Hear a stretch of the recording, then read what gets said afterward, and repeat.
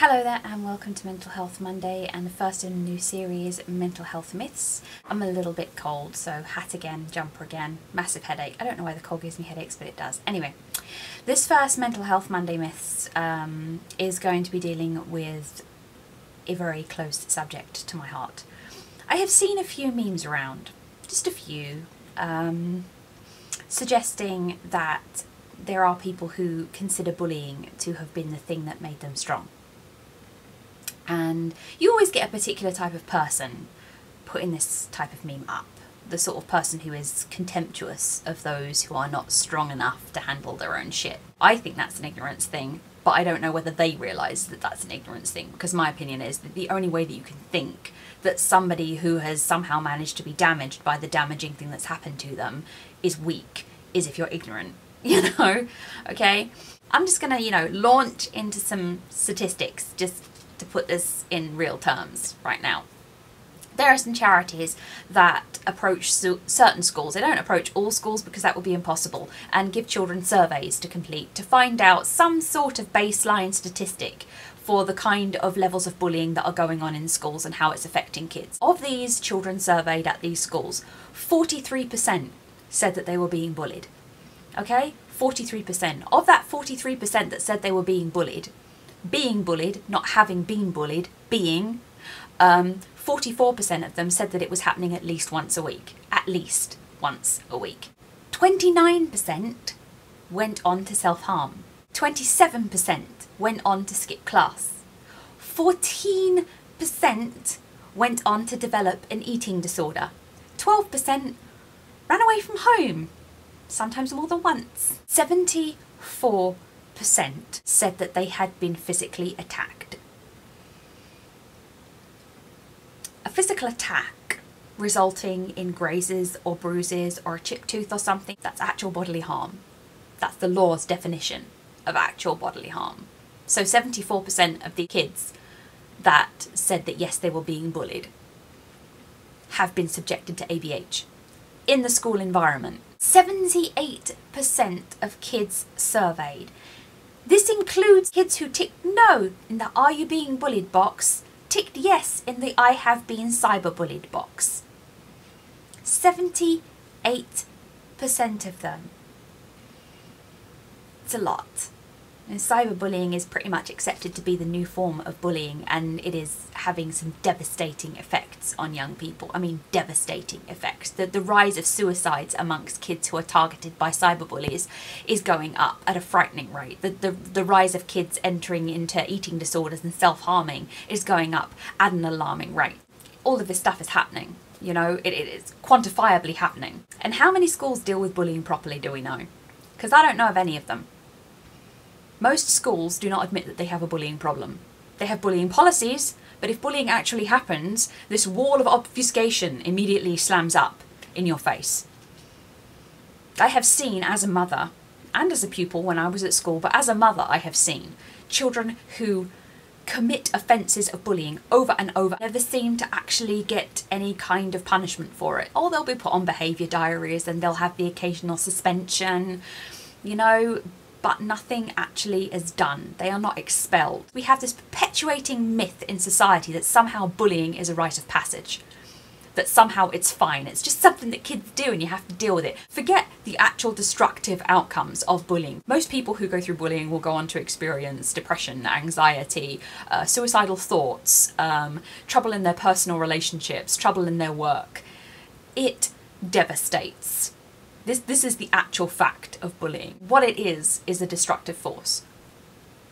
Okay, that, that's the fact of it. Not harmless fun, not a rite of passage, it's destructive. Destructive and damaging and harmful and should never be tolerated. And if you somehow came through all of that, I suggest you look to the people in your life who maybe supported you through it. Because they're the reason why your esteem came back up they're the reason why you've been able to fight on with your life. The vast majority of people who've gone through bullying, hopefully, will have people in their lives who will support them. Hopefully, will go on, even if they don't have any support in that environment, will go on to a better environment where they have better support. Yeah? And they will they will come out of the damage done to them. hopefully they won't carry too much of it into their adult lives. Or if they're an adult who's being bullied, hopefully they'll be able to leave that workplace and go to one where they don't get bullied.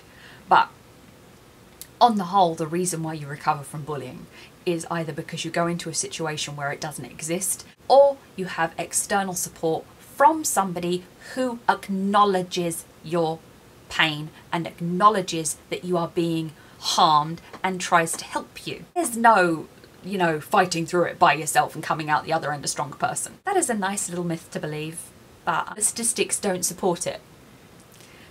The basic fact is that we are seeing more and more and more young people completely destroyed by bullying. If you want to go on YouTube, the same site I'm on here, you want to look for all those videos of kids just putting up their story on cards.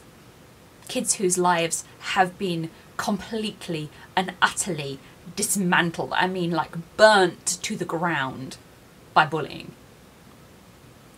I had that, and I wasn't even in an age of cyberbullying. But they took my life and they burnt it to the ground. And I presume that was just them having fun.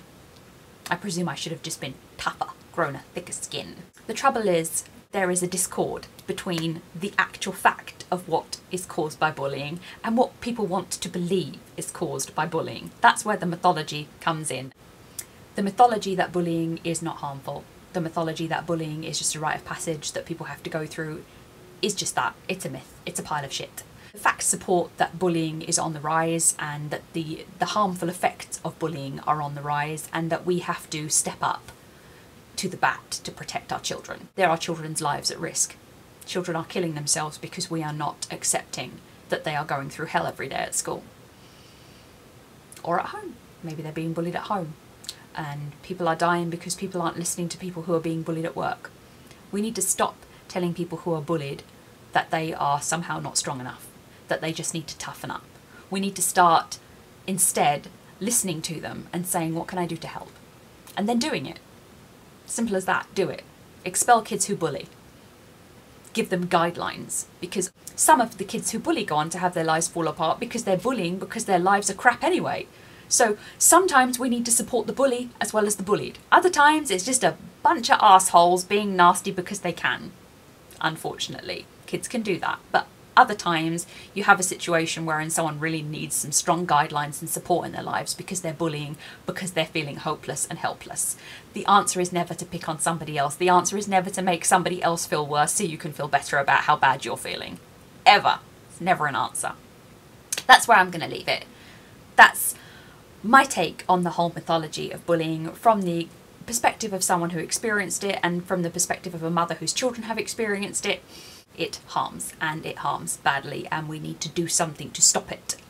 We need to tackle bullying and completely eradicate it. Frankly, we need to make our children more tolerant and understanding and we need to become as people more tolerant and understanding of difference. There you go. End of. That's that.